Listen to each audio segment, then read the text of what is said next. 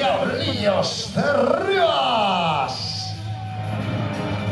Bienvenidos al Campeonato de España de Triatlón por relevos, disputado en la localidad de Roquetas de Mar.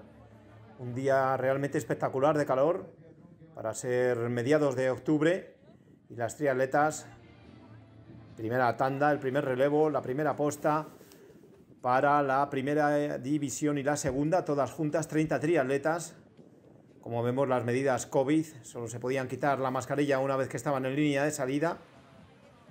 Y ahí, ya dispuestas a afrontar los 250 metros de natación, las 30 de la primera y segunda división.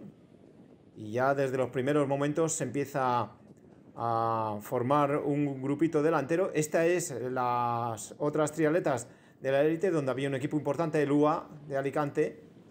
Y ahí están saliendo las primeras del agua, Mills del ADS, el auténtico equipo revelación del día. Esta es una de las favoritas, la del Isbildia, dos eh, trialetas de equipos sevillanos en las primeras posiciones. Y estas son las gallegas por detrás. Y ahí está Yaiza Sai de la Universidad de Alicante, que había salido en la segunda tanda.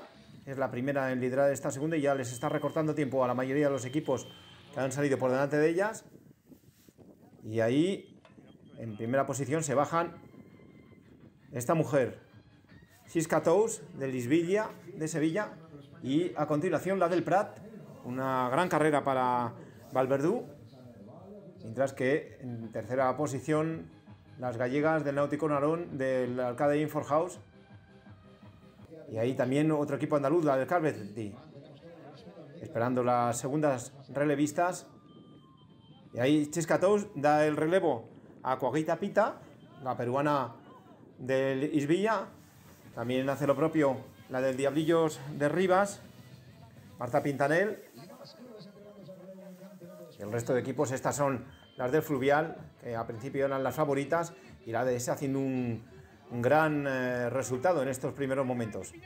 Esa pena era la del Fluvial, y ahí saliendo la eslovaca Susana Michalikova, a continuación Pita, sale sin neopreno Pita, pero Michalikova con neopreno y poniéndose las zapatillas de atletismo, pero atención, porque no lleva el soporte en los pedales, va a pelo, y va a realizar un auténtico parcial, va a sentenciar de hecho la prueba, puesto que Pita ya se cambia más eh, despacio que la eslovaca, y ahí Carla Guisande en tercera posición del fluvial ha remontado en este segmento de natación, se van a afrontar los 6,6 kilómetros de ciclismo, la del Náutico Narón se pasa de frenada y ahí está, junto con la del ADS Sevilla, como hemos dicho, el auténtico equipo revelación. Y ahí está Carla Domínguez. Va a ser el mejor tiempo de todas las participantes y va a hacer una remontada realmente espectacular. Esta es Camila Alonso, la segunda postista del UA, que también va remontando por detrás. No tienen referencias, puesto que han salido en la segunda tarda, tres minutos más tarde. Y ahí Michalikova, una transición rapidísima, puesto que lo había hecho ya con las zapatillas, era simplemente quitarse el casco, mete aún más tiempo, pero va con más de un minuto de ventaja sobre Carla Guisande, que logra llegar segunda a la T2. A continuación, Coaguita Pita, en tercera posición, pero se la está echando encima Carla Domínguez. Menuda remontada la de esta mujer, haciendo mejor tiempo incluso que la checa. Y esta es la del equipo del Prat Alon, Sofía Guayo, están siendo también en la revelación del día. Y las trialetas de la tercera tanda, con Cecilia Santamaría como principal favorita, pero no tendría nada que hacer puesto que la ventaja, fíjense, Raquel Arostegui ya saliendo al relevo, es más de un minuto diez sobre Carla Domínguez. Repetimos, el mejor parcial de todas las participantes, ha hecho la mejor posta. Y ahí a continuación, Cecilia Santamaría y Lorena Álvarez. Y la del Prat, Marta Romance, saliendo Raquel Arostegui con muchísima ventaja. Ha perdido en el agua 20 segundos sobre esta mujer, sobre Cecilia Santamaría del Fluvial.